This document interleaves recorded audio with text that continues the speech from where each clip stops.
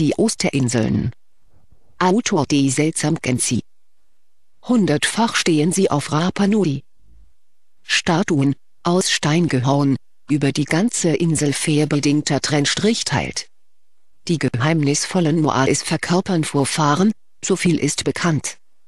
Doch seine wahren Geheimnisse gibt das 3100 Kilometer von Chile entfernte Eiland im Südostpazifik nicht preis. Vier dann eben noch einmal, ganz langsam. Jeden Vokal einzeln aussprechen, Silbe für Silbe. Ioranakoe. Peherakoe? Marnaki Aau. Na also, geht doch oder?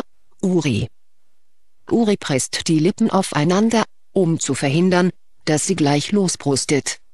Dieses, Guten Tag. Wie geht's? Ich habe Hunger. In der Inselsprache war offensichtlich immer noch nicht korrekt betont. Die Exkursionsleiterin des Posada de Bindestrich Hotels ist mit uns über das halbe Eiland gewandert. Jetzt wird's Zeit für den Lunch hier am Anakena Beach. Der Sand ist hell wie Mehl und ebenso fein, der Wind lässt die Blätter der Palmen trockenrahbedingter Trennstrich schälen. Draußen über den Wellen spielt ein Schwarm Vögel fangen. Es gibt Süßkartoffelsalat, rohen Thunfisch und kühlen Weißwein. Und ein neues Wort, Kaoratekai, guten Appetit. Hier ist man weiter fort als irgendwo sonst. Die Osterinsel ist das abgelegenste und isolierteste Stück Land auf dem Planeten, auf dem Menschen leben. Die Insel gehört zu Chile, aber Chile liegt gut 3700 Kilometer oder fünf lange Flugstunden weiter östbedingter Trennstrichlich. Ein bisschen näher dran sind die Pitcairn-bedingter Trennstrichinseln im Westen mit den Nachfahren der Boon-bedingter Trennstrich-Thü, Meuterer. Bis dahin sind es nur schlappe 2100 Kilometer. Aber eigentlich sind auch die Pitcairns nur winzige Landkleckse in der nassen Weite des Ozeans. Genau wie das dreieckige, kleine Rapa Nui. So heißt die Osterinsel in der Sprache der Einherimi-bedingter Trennstrich. Einherimi-bedingter Trennstrich Schenbewohner, die sich wiederum ebenfalls Rapa Nui nennen, und ihre Sprache heißt auch so. Wenn man von Santiago in Chile anreist, steht auf den Anzeigetafeln am Airport, Isla de Pascua. Das ist wiederum Spanisch für Osterinsel. Und Osterinsel hat man sie genannt, weil sie am Ostersonntag 1722 vom holländischen Seefahrer Jacob Roggeveen entbedingter Trennstrich deckt wurde. Sie stehen überall herum. Und woran denkt man, wenn man an die Osterinsel denkt? Genau. Die stehen tatsächlich überall hebedingter Trennstrich rum, die Moais, diese Steinstatuen mit ihren ernsten Gesichtern, wie gewaltige Schachfiguren einer abgebedingter Trennstrich Brokenen Partei göttlicher Spieler. Nicht nur 10 oder 20, sondern Hunderte. Überall. Forscher haben sich die Mühe gemacht und sie durch nun bedingter Trennstrich mariert. Sie sind auf 887 gekommen.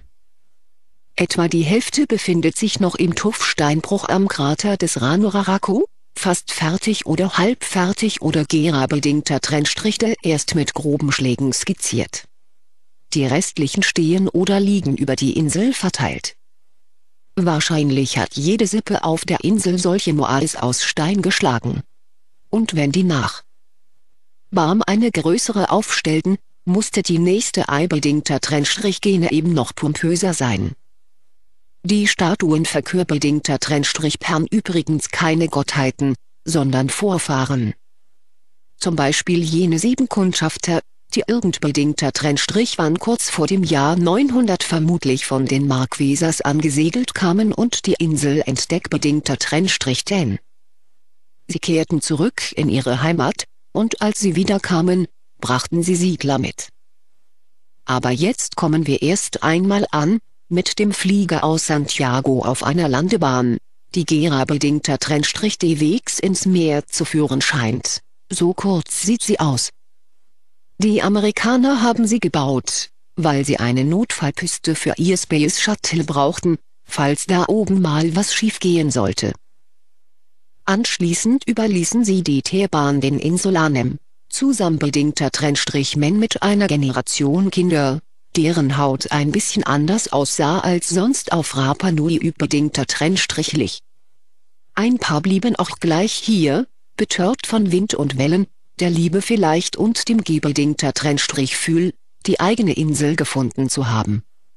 Heute leben knapp 4000 Menschen auf den 163 Quadratkilometern, die allermeisten in Hangaroa, dem einzigen Ort.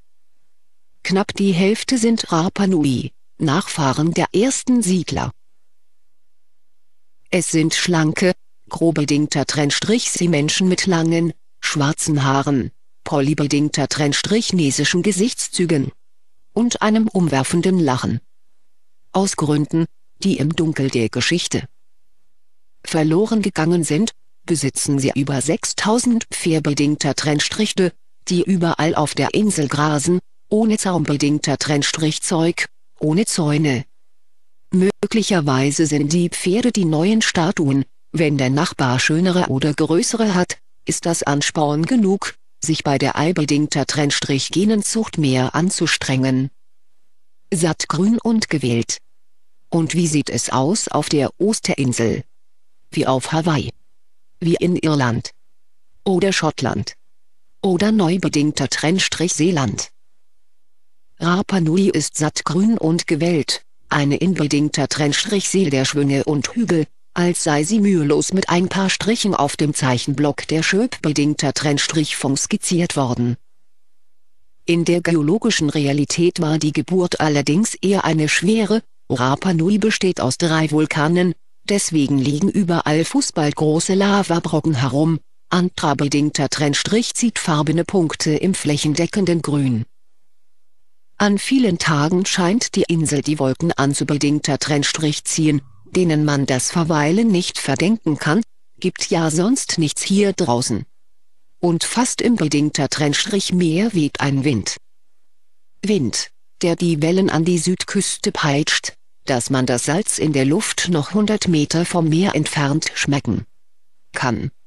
Wind, der die anderen Geräusche auf der Insel zu verschlucken und mit zunehmen scheint an einen geheimen Ort, wo sie dann vielleicht zu hören sind.